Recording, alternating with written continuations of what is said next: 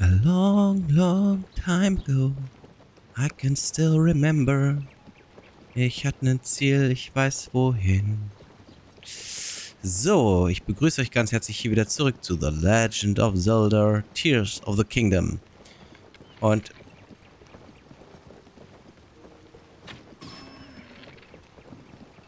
zack, da gibt's Fleisch.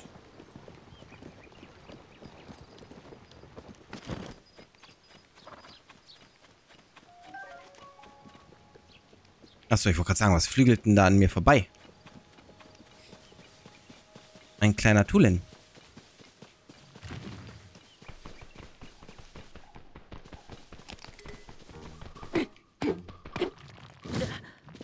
Au. Da brauche ich härtere Geschütze.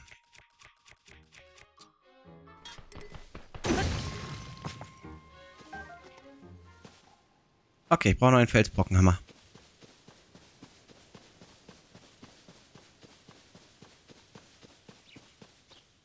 Hä?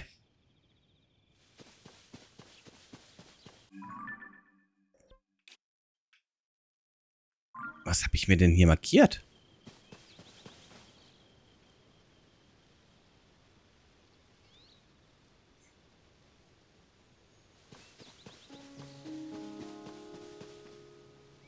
Okay.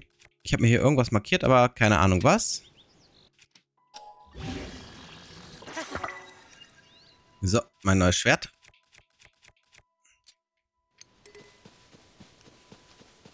Dann gehen wir halt da vorne hin. Der ist so weit weg. War das echt der, den ich markiert hatte? Ja gut, ich will ja auch in die Richtung, wenn man es mal so nimmt. Aber bin ich die ganze Zeit falsch gelaufen. Ich kann mal die Markierung wegnehmen.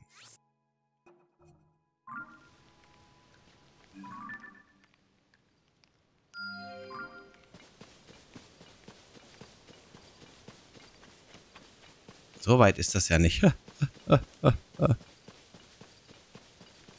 Und irgendwann suche ich mir noch ein richtig gutes Pferd.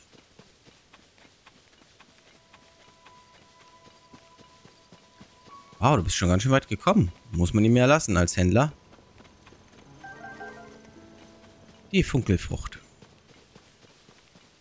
Und ja, irgendwann werden wir uns auch nochmal in den Untergrund bewegen.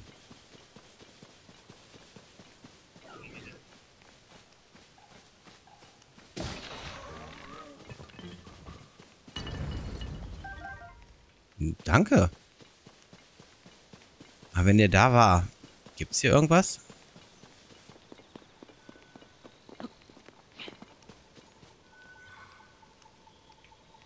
Ja, hier gibt es was.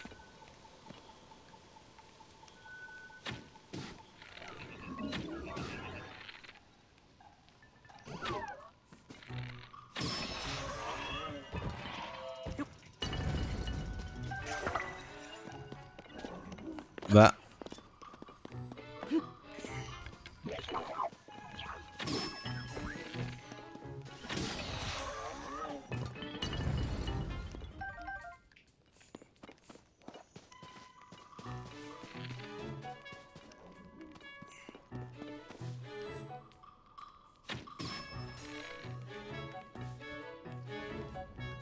hast du eigentlich einen Laser?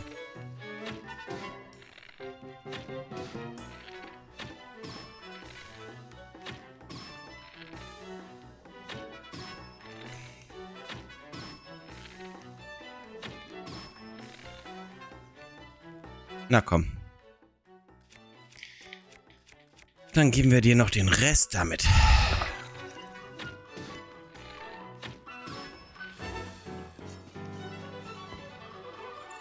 Und die Kiste ist auf.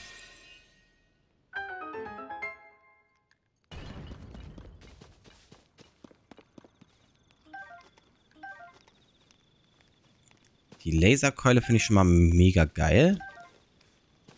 Die nehmen wir doch schon mal mit.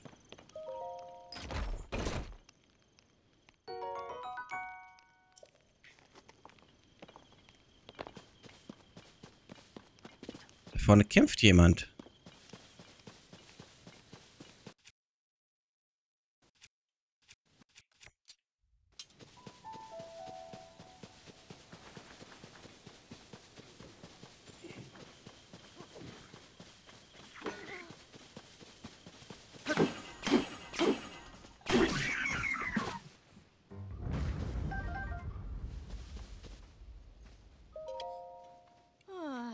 Keine Monster mehr da? Gut, denn die machen nichts, die machen nichts als Ärger. Hier ein Geschenk für meinen Retter. Schmeckt toll, das garantiere ich.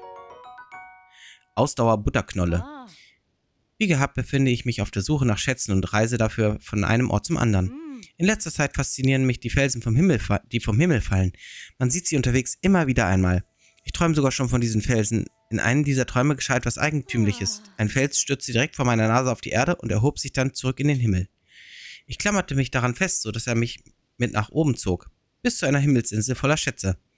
Wunschtraum einer Schatzsucherin, oder? Mysteriöse Vorbote meiner Schicksals. Ich fürchte ersteres. Denn wie sollte es möglich sein, dass ein herabgestürzter Fels mir nichts, mir nichts, dir nichts umkehrt und wieder in die Höhe steigt? So, genug geschwätzt. Vielleicht sehen wir uns einmal irgendwo wieder. Savok.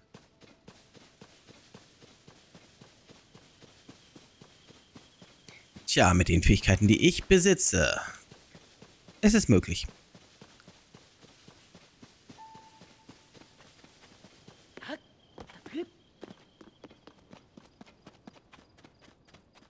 Gar kein Typ, der hier ein Schild festhält? Hm. Egal. Wir gehen zum nächsten Schrein, den wir erforschen können.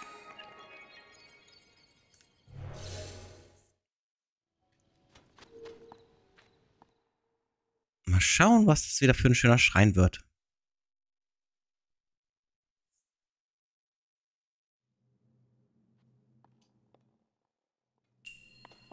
Kampftechnik werfen.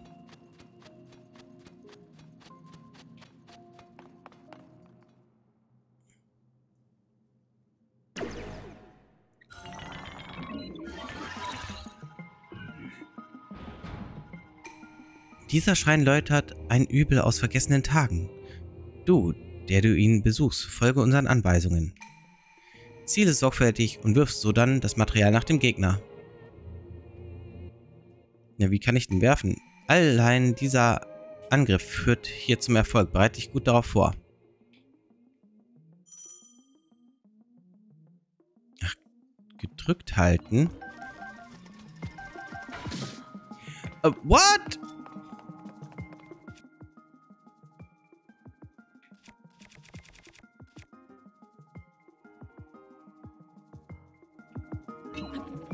Nein.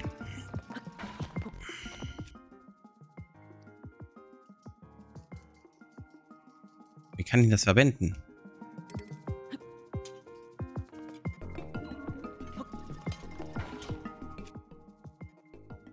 Hä?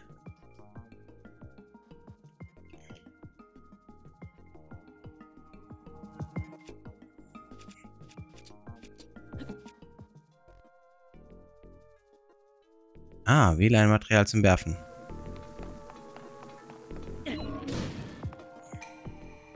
Ausgezeichnet. Ich weiß jetzt nicht, wie ich es hinbekommen habe, aber ich habe es hinbekommen. Das ist schon mal gut. Lass dich von den Bewegungen des Gegners nicht täuschen und wirf das Material nach ihm.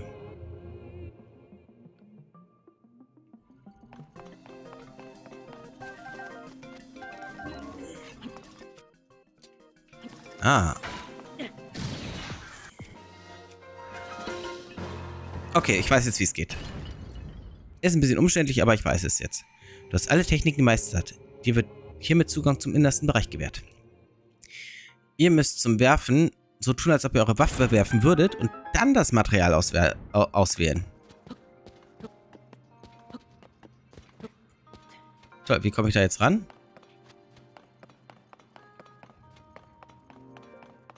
Ach, da ist eine Leiter.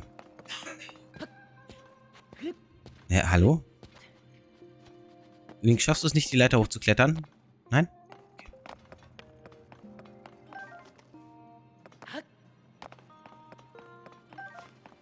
Die Pfeile, die er geschossen hat, die nehme ich mir natürlich gerne mit. Ich hoffe mal, hier ist noch irgendwo ein Pfeil.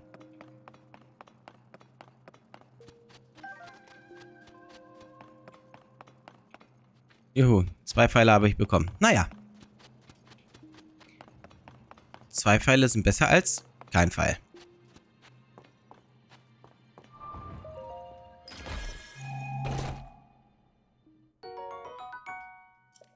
Hm. Ja, da macht es jetzt auch Sinn mit den Donnerblumen.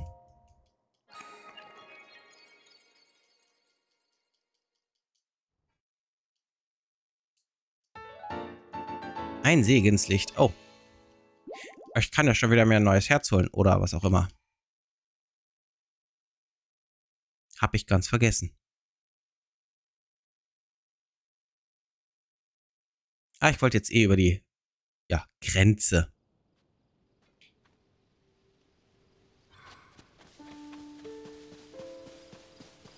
Wenn man das so sagen kann. Genau, über die Grenze.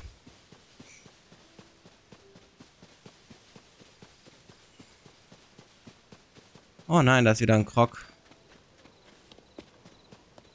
Will zu meinem Freund. Ja, wo ist der? Oh je, was für ein Schlamassel. Wer hätte gedacht, dass ich von meinem Freund getrennt würde? Sieht so aus, als würde er mir einen Rauchsignal schicken. Dann sollte ich mich beeilen, um zu ihm zu stoßen. Ach, ich bin so erschöpft, ich kann mich kaum bewegen.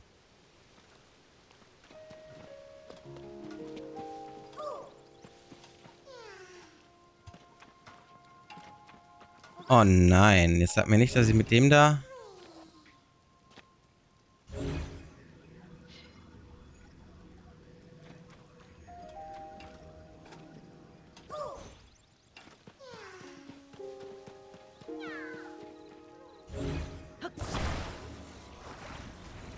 Okay, wir machen es jetzt mal so.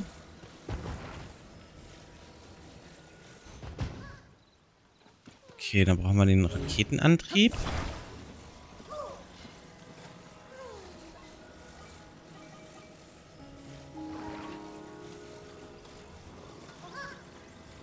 Ja, ich baue den trotzdem mal hinten an.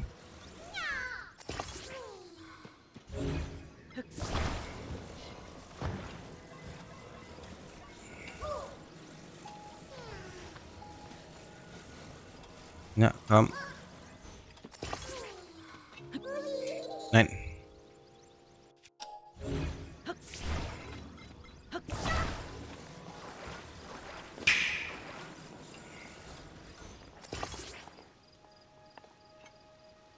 Ich habe echt Angst jetzt gerade, was ich mache. Wow. Wow. Nein.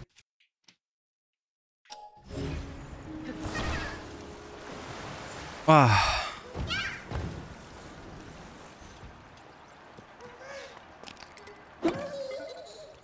Juhu. Vielleicht nicht der beste Flug, aber es hat funktioniert.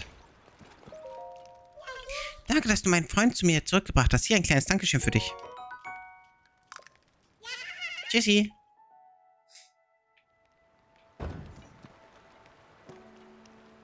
Okay, und schon sind wir hier im nächsten Bereich.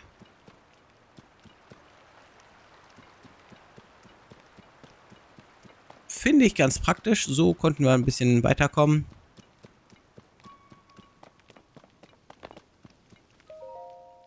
Materialdepot für Wiederaufbau. Bitte bedienen Sie sich bei Bedarf. Bei Interesse an einem Traumhaus ist das Bauunternehmen Dumpster für Sie da.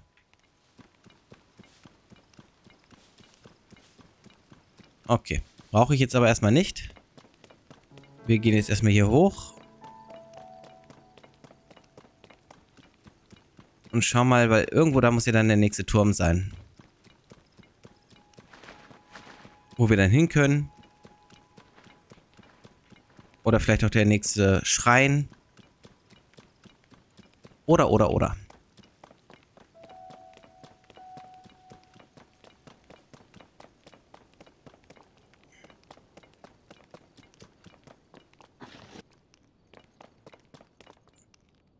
Moment, du willst mir jetzt nicht sagen, dass das...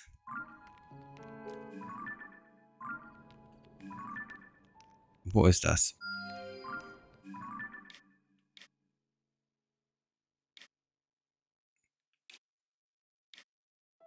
Das ist das Gebiet in der Nähe vom Todesberg.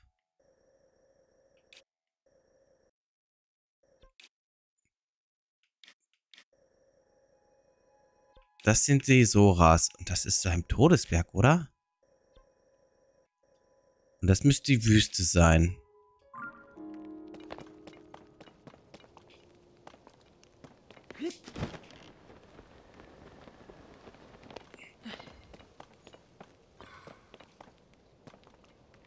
Ich weiß immer nicht, was es da mit diesen Pusteblumen auf sich hat.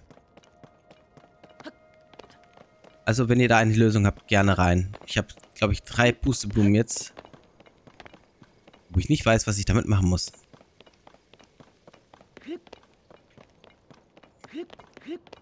Cool wäre, wenn man dadurch dann vier oder fünf Krogsamen bekommt. Oh, Moment, wartet mal.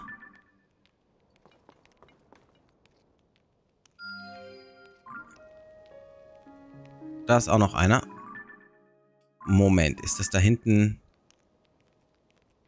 Nee, aber da ist der nächste Turm. Keine weiteren Punkte mehr zu markieren. Nein!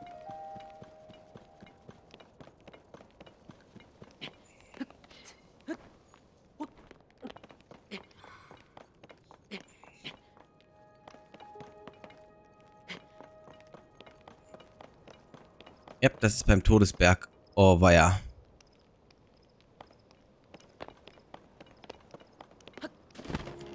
wir fliegen jetzt erstmal da vorne hin. Da macht es ja echt fast Sinn, den da anzupeilen. Also den da. Aber dafür muss ich jetzt erstmal auf die Karte. Muss hier einen entfernen. War ich da jetzt schon? Ich nehme den jetzt einfach mal weg.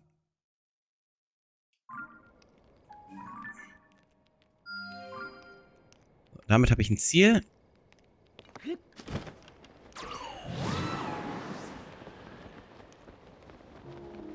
So weit fliegen wie möglich. Oh, da ist auch ein Stall.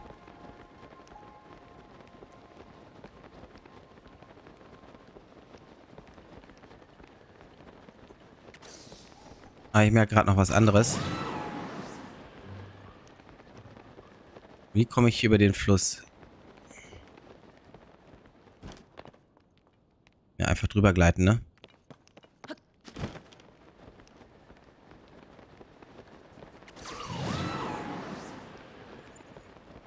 Ha. Schön. Danke, Tulin.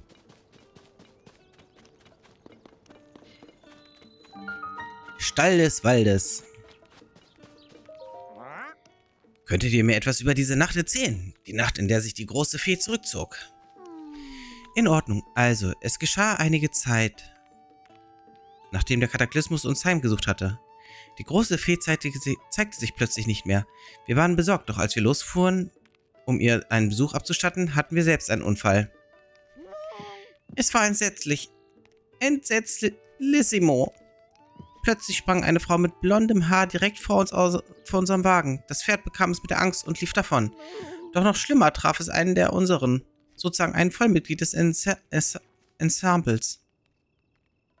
Unser lieber hochgeschätzter Allegro hat ein paar seiner Räder eingebüßt. Welch ein entsetzliches Unglück. Der Allegro ist unser Wagen, hätte ich erwähnen sollen. Hm. Ohne ihn können wir nicht einmal unsere Instrumente transportieren. Zum Glück wurde niemand verletzt. Doch die große Fee scheint noch immer vor etwas Angst zu haben und versteckt sich in einer Knospe. Ich bin mir sicher, dass diese Frau irgendetwas mit den großen Feen gemacht hat. Da gibt es gar keinen Zweifel. Wer sonst läuft nach einem Unfall einfach so davon? Ohne auch nur ein Wort der Entschuldigung.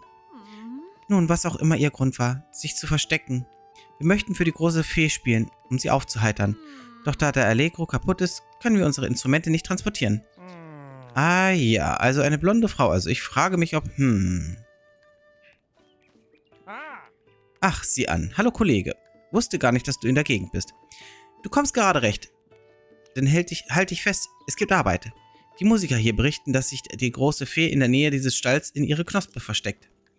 Der Grund dafür könnte eine blonde Frau sein, die in irgendeiner Form in dieser Sache verwickelt ist. Ich denke ja, dass die Möglichkeit durchaus gegeben ist, dass es sich dabei um Prinzessin Zelda handelt. Natürlich drucken wir nicht einfach unüberlicher, unüberprüfte Gerüchte in unsere Zeitung ab. Da müssen wir zumindest einmal die große Fee selbst fragen, wie sich alles zugetragen hat. Finden wir es heraus? Nicht zu so hastig, unter Reportern haben wir ein geflügeltes Wort. Eile mit Weile, sonst vermasselst du die Schlagzeile. Rekapitulieren wir erstmal, was wir bereits über die große Fee wissen. Siehst du die große, seltsame, anmutende Pflanze dort auf der Anhöhe, an diesem Pfad? In der Knospe befindet sich die große Fee und man sagt, dass sie der Musik sehr zugetan sei. So soll sie sich zuweilen auch schon dem Stall genähert haben, um den Auftritt des Ensembles zu lauschen. Dabei handelt es sich allerdings um ein Gerücht, das ich noch nicht verifizieren konnte. Oh, man sagt außerdem, dass die große Fee Reisende mit ihrem Segen schützt. Daher ist ihre Präsenz für den Stall von großer Wichtigkeit. Ich hoffe, dass es ihr bald wieder besser geht. Wir müssen irgendwie eine Möglichkeit finden, zur großen Fee zu gelangen. Aber unser Pferd ist davongelaufen und unser Wagen, der Allegro, ist kaputt. Ich weiß nicht, was wir tun sollen. Also den Wagen reparieren. Nein.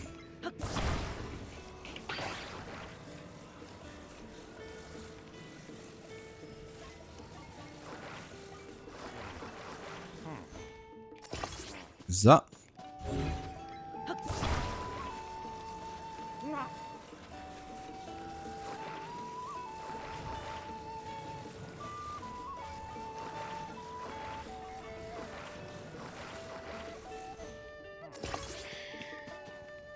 So, und ein Pferd besorgen.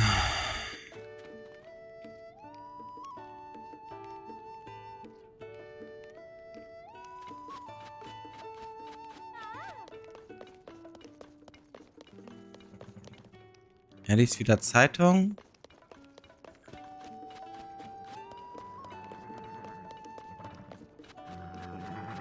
So ein toller Ballon. Okay.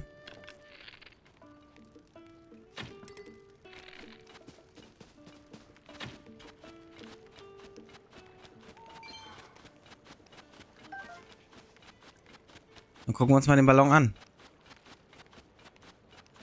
Was ist mit dem Ballon?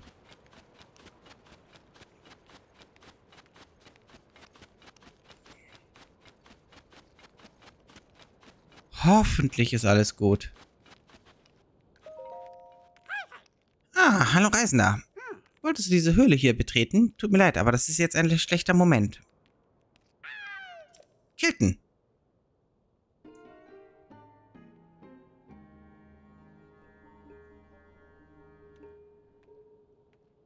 Mein Gott, sind die beiden Potten hässlich.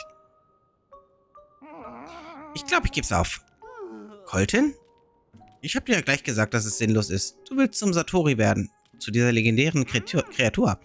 Anstatt diesen unmöglichen Traum zu verfolgen, solltest du mir lieber mit einem meiner Monstersammlung helfen. Ah, das will ich nicht hören. Ich werde zum Satori, ganz bestimmt. Ich habe ihn immer bewundert und geliebt. Wir müssen bloß an einen Mayo Signum gelangen. Dann können wir sie zum Satori werden. Und das Gerücht stimmte. In der Höhle lebt tatsächlich ein Mayoi. Mai-Oi. Ja, ein Wesen, das genauso leuchtet wie Satori. Aber es hängt dort unerreichbar hoch an der Wand und bewegt sich blitzschnell weg, wenn man ihm zu nahe kommt. Und warum willst du denn dann schon aufgeben? Du könntest doch jemanden bitten, das Mayoi für dich zu fangen. Du hast doch auch diese ganzen Schätze angehäuft. Wenn du die als Gegenleistung anbietest, findest du sofort jemanden. Hallo Reisender, hast du mitgehört, worüber wir, ich mit meinem Bruder gesprochen habe? Damit mein Traum in Erfüllung geht, brauche ich unbedingt ein Mayoi Signum. Aber diese Mayoi bewegen sich viel schneller, als ich gucken kann. Du willst mir meine Lions-Geschichte anhören? Danke. Also, mein Traum ist es, zum mythischen Wesen Satori zu werden. Der Satori ist eine legendäre Kreatur, von der aus der Augenzeugenberichten aus so gut wie allen Regionen Hyrules gibt. Seine intelligenten Augen, sein bläuliches weißes Fell, wie sehr ich mich nach seiner außer weltlichen Erscheinung sehne. Und nach Jahren der Suche habe ich dank antiker Manuskripte tatsächlich herausgefunden, wie man zum Satori wird. Man muss ein rätselhaftes Wesen namens Mayo finden. Mayoi finden, das dunkle Höhlen liebt und so bläulich weiß schimmert wie Satori. Und dann muss man ein Mayoi-Signum sammeln, das es fallen lässt, wenn es geschwächt wird. Aus diesem Grund habe ich mich in diese Höhle gewagt und wollte dem Mayoi sein Signum abtrotzen. Aber ich wusste nicht, was für unfassbar schnelle Bewegungen sie fähig sind. Ah, ich würde alles geben, um Satori zu werden. Ähm, Entschuldigung? Lange Rede, kurzer Sinn. Falls du ein Mayoi Signum erlangen kannst, gib es mir bitte. Ich werde mich natürlich erkenntlich zeigen. Das, das ist doch ein Mayoi Signum. Bist du sicher, dass es echt ist, Coltin? Diese elegante Form, der blauliche Glanz. Ja, kein Zweifel, ein echtes Mayoi Signum. Yippie, mein Traum rückt in greifbare Nähe. Ich werde zum Satori werden. Vielen Dank. Hier ist deine Belohnung. Ich sammle Sachen, die wie ein Monster aussehen, die einen wie ein Monster aussehen lassen oder originale Monsterteile sehr ähnlich sehen. Mit der Maske, die ich dir gegeben habe, ähnelt man einem Bockblind. So sehr, dass man damit sogar Bockblinds täuschen kann. Leg sie doch mal an, dann wirst du sehen, wie es sich anfühlt, sich in solch eine Kreatur zu verwandeln. Also dann, es ist soweit. Ich werde das Majoi Signum, nachdem ich mich so lange gesehnt habe, nun verzehren. Guten Appetit.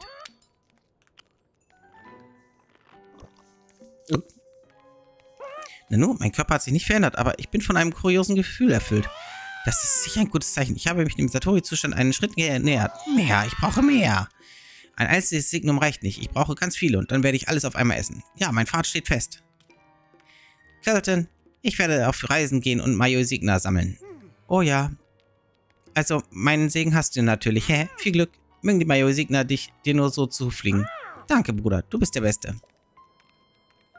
Reisender, danke für deine Hilfe, aber das war erst der Anfang. Ich werde herumreisen und Mayo Sigma sammeln.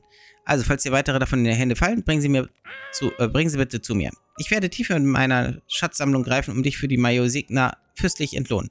Also dann, auf, dass wir uns bald wieder einmal sehen.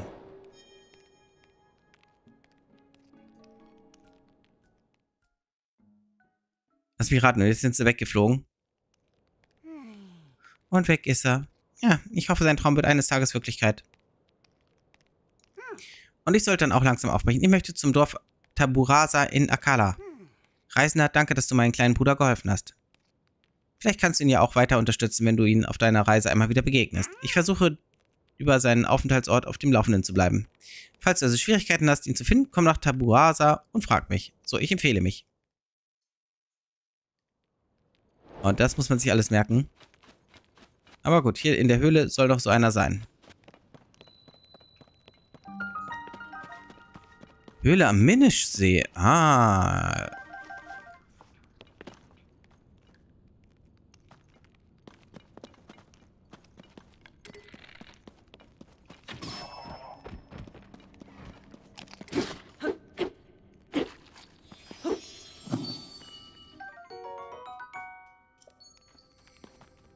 Aber hier kann ich auch noch Erz abbauen. Und das ist wichtig, denn ich brauche hier Geld.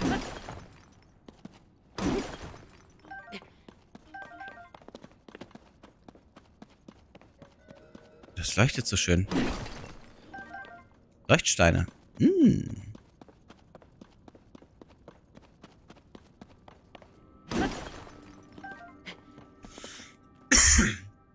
Und noch mehr Steinsalz. Das ist das, was wir sehen wollen, hä? Aber leider kein Pferd.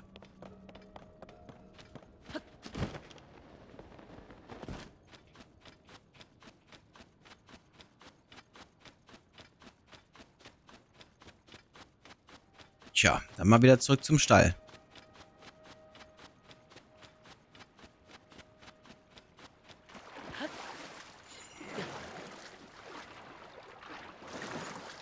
Na komm. Ihr blöden Fische. Mann, ich wollte doch nur die Fische haben.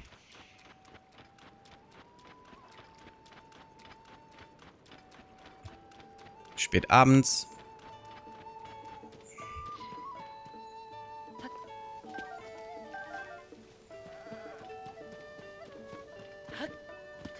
Dabei brauche ich doch einfach nur Pferde. Hm.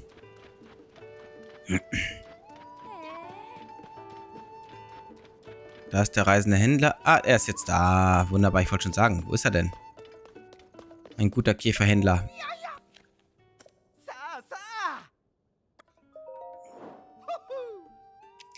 So, dann klamottentechnisch ist das da verdammt viel wert. Mm, ein Diamant ist 500 wert. Oh, das ist schön. 18 Feuersteine.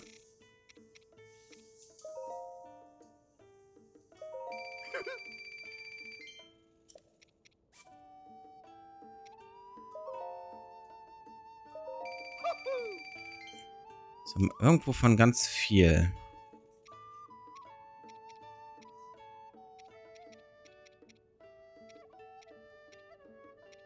nein, nein, nein, nein, nein, nein, nein, nein. Ja, davon bekomme ich immer wieder was.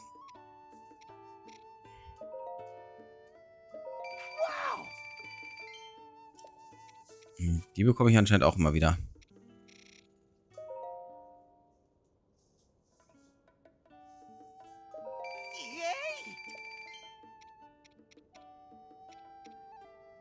Und äh, das da...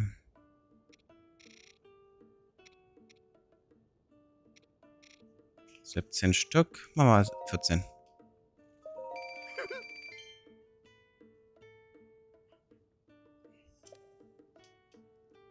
Und dann kann ich bei dir auch bestimmt auch was kaufen, ne? Sowas wie Pfeile.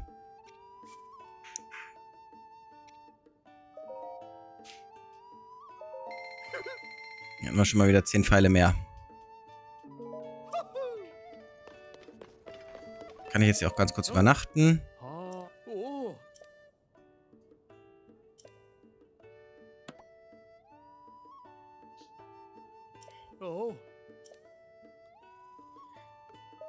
Normales Bett. Gutschein verwenden. Ja, verwende meinen Gutschein. Bis morgens.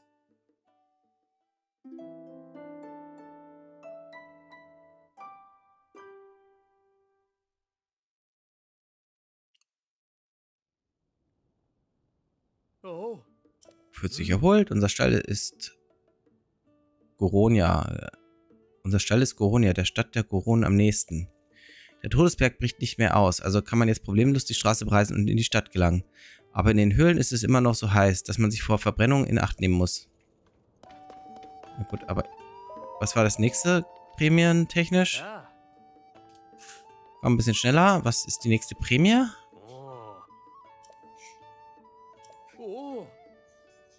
Pferdestoffgott, okay. Pferdegottstoff, so, nicht Pferdestoffgott, sondern ein Schwertling. Das ist auch schön.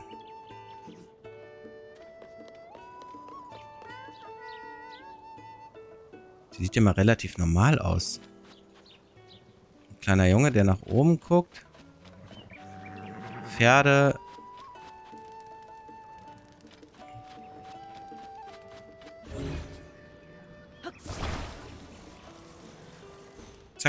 Paar Pfeile sammeln. Toll, viel war es jetzt nicht. Eine Fackel. Gut, dann würde ich sagen, sehen wir uns im nächsten Part wieder. Ich bedanke mich schon mal ganz herzlich wieder fürs Einschalten, sage bis zum nächsten Mal. Und ich bin euer Trochot rein. Tschüss. tschüss.